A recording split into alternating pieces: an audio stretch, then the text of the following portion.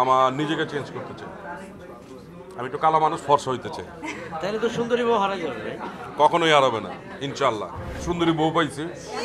ঠিক না এটা আল্লাহর রহমত দেখেই তো পাইছি নয়তো পাইতাম না। কারণ সবাই মানে আমার বউকে দেখে একটু ইয়া হচ্ছে বিচলিত হচ্ছে কি রে ভাই এই ছেলে কেন এরকম বউ পাইলো? এটা নিয়ে সবারই একটা ইয়া। এটা আল্লাহর অশেষ রহমত। আর অপ্রাপ্তি কিছু দেখি নাই, সবই প্রাপ্তি। আল্লাহ পাক প্রত্যেক দিন একটা করে নতুন দিন দিচ্ছে, প্রত্যেকটাই আমাদের প্রাপ্তি। যে ক্যারেক্টারটা আমাকে দিছে, ক্যারেক্টারটা অনেক কঠিন, আর যেসব মানে শব্দ ব্যবহার করা হয়েছে, এগুলোর সাথে আমি এতটা অভ্যস্ত না, একদম খাঁটি বাংলা একই শব্দ অনেক সময় ঘুরায় ফিরায় আসছে, কিছু, আপনার কি ডায়লগ আছে, প্রথমে একবার বলে ঘুরে আবার ওই জায়গায় আসতে হচ্ছে, এটা নিয়ে আমি খুব মানে ভয়ে ছিলাম।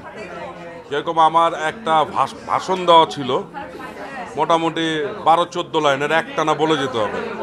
আমি যখন স্ক্রিপ্টটা হাতে দেখছি, আমার মানে পালপাটেশন শুরু হয়ে গেছে, হাত পা কাঁপা শুরু হয়ে গেছে। যাক, তারপর আস্তে আস্তে করে একটু সময় নিয়ে নিয়ে করতেছি। জানি না কি করতে পারছি। এটা দর্শকরা দেখবে, আপনারা সাংবাদিকরা আছে, দেখে বলবেন যে আমি কি পারছি কিনা। কারণ এই টাইপের ক্যারেক্টার আমি কখনো করিনি।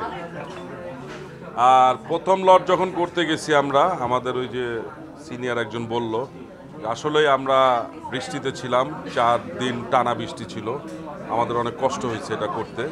কিন্তু আমাদের অন্যান্য আর্টিস্ট যারা ছিল, তাদের সকলের সহযোগিতা ডিরেক্টরের আপ্রাণ চেষ্টা ছিল।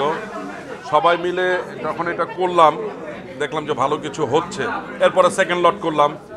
সেকেন্ড লটেও দেখলাম যে আরও সবাই একটু ঝালাই হয়ে ঢুকছি, ভালোই হইতেছে। আর বাদ বাকি কি বলব আমি আসলে বলতে পারতেছি না। অনুভূতি যদি বলে, আমার কোনো অনুভূতি এখনও হয় নাই। আসলে তো ভালো একটা কাজ করার জন্যই আমরা নামছি।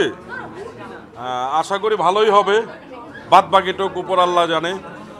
আপনারা দেখেন, দেখে আমাদেরকে মন্তব্য করবেন। আমরা আপ্রাণ চেষ্টা করতেছি এটার জন্য। এবং ভবিষ্যতে ভালো কাজ করব। দোয়া করবেন।